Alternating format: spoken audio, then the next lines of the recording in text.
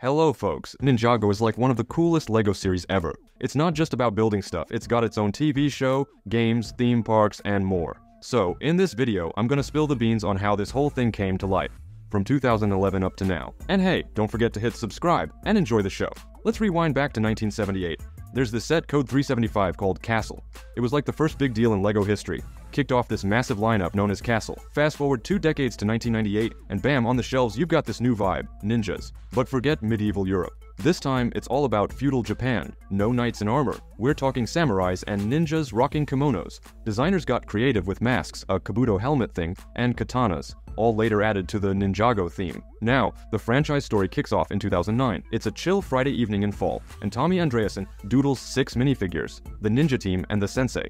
Alongside the four main elements these made-up characters got, Water makes a cameo in his drawing. But hold up, in the first sets, Water isn't all buddy-buddy with any ninja. Turns out, the plan from the get-go was to have water ninjas in the crew, but Tommy brought that to life fully around 2015. Actually, the idea to make a cool medieval Japan Lego thing started way before 2009. Let me show you this drawing that happened in 2004, thanks to this guy Mike Rayhawk. So, according to what Mike was thinking, this LEGO theme was all about ninjas fighting skeletons for the right to have golden weapons. Dragons were also part of the story, and, you know, there's one right there in the concept. At first, it might look like Tommy just copied the whole thing, but there are some differences between what he did and what Mike came up with. First off, Mike's idea had heroes as skeletons, not ninjas.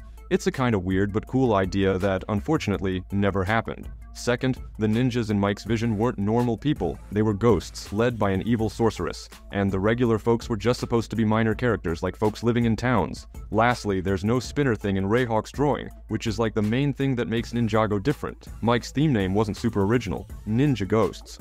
But Tommy and his buddies decided to put Ninja and Lego together, and bam, we got Ninjago, known all over the place.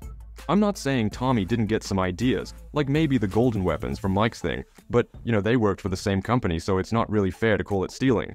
In 2008, the company felt it needed a new show, and they planned to bring it in as a replacement for the not yet out Atlantis. At first, the story and the whole idea for the new series were kind of blurry. They went with ninjas for two big reasons. First off, the company had been tossing around the ninja idea for a bit, and secondly, kids liked it as found in a study the company did to check out what people were into. Superheroes were also in the running, but most of the younger folks in the study were more into Japanese warriors. So making Ninjago a big thing wasn't just one person's doing, but it was a whole company effort. Some folks had the idea for the series, and others in 2009 made it all come together. And here's a fun fact, regular kids had a say in a lot of the important decisions for the first Ninjago sets.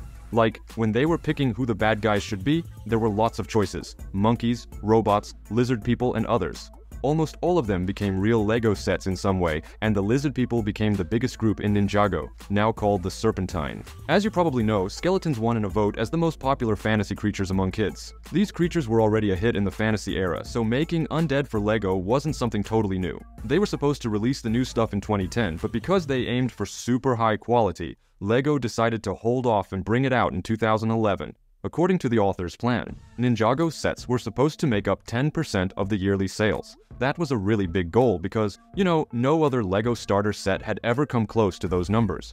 Not Bionicle, which saved the company from going under, and not City, always in the top 5 bestsellers. That's why, by the way, the folks who made Ninjago went for it in a much bigger way than let's say Pharaoh's Quest. If they had put out the same number of sets for Pharaoh's Quest in 2011, along with a cartoon series like Ninjago, who knows how long Pharaoh would have stuck around.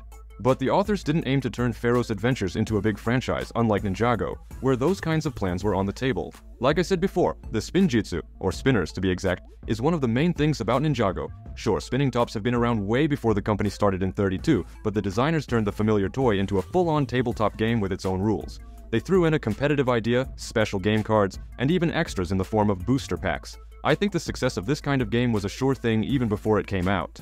But it didn't stop there. Apart from the regular LEGO sets, which turned out to be massive, the creators came up with a bunch of extra stuff to promote their new thing. I'm talking about another board game as part of the gaming scene, an add-on to the video game universe, set in the Ninjago world. By the way, they worked on it at the same time as making the sets, so there were lots of differences between them. There were also some promo polybags, a game called Battles for Nintendo DS, they even got the rock band The Fold to make theme music, and they launched a proper animated series called Ninjago Masters of Spinjitzu, starting with such attention to detail practically guaranteed success. Finally, The sets from the new series hit the shelves in January 2011, and as expected, this theme became super successful. They beat the expected goal of 10% of the total revenue, making Ninjago the most profitable starter line in the company's history. Not too long ago, Super Mario had a similar success story. However, the specific numbers about it haven't been shared by the Danes, and it's genuinely unknown whether Ninjago still holds the world record. It's quite possible, given the initial crazy popularity of Mario, while the Ninja Heroes were unknown to anyone before they hit the big stage. Ninjago instantly became a huge franchise, but originally the authors didn't plan to keep the theme going past 2013. Since the set production cycle takes a while, the development of this period's wave started before Ninjago became a global hit. So not wanting to take too many risks, the authors made the final set lineup as small as possible, fearing the failure of their brainchild. In a nutshell, even though the previous sets were super successful, 2013 didn't have many new products. But you know, it wasn't a disaster, and the creators didn't go all out to stop the money train. They kept the series going into 2014 and beyond. Over these years, more than 300 Ninjago sets popped up. There's a full-length film by Warner Brothers, theme parks worldwide, and loads of team-ups with big names like Adidas, Skybound, McDonald's, and even the Daily Mail, despite it seeming like people might be losing interest. Ninjago is kicking and alive. LEGO calls it evergreen, a term they used for themes that aren't closing shop in the next five years. City, Star Wars, Duplo, Technic, Creator, and Friends also fall into this group. Ninjago snagged the sixth spot for the most money-making lines in the first half of 2021. If LEGO isn't rushing to close up Minecraft, Dots, or Monkie Kid, which aren't pulling in similar numbers, then we shouldn't expect Ninjago to call it quits anytime soon. So that's the scoop. Drop your thoughts on the video in the comments. Big thanks to everyone for tuning in, catch you later.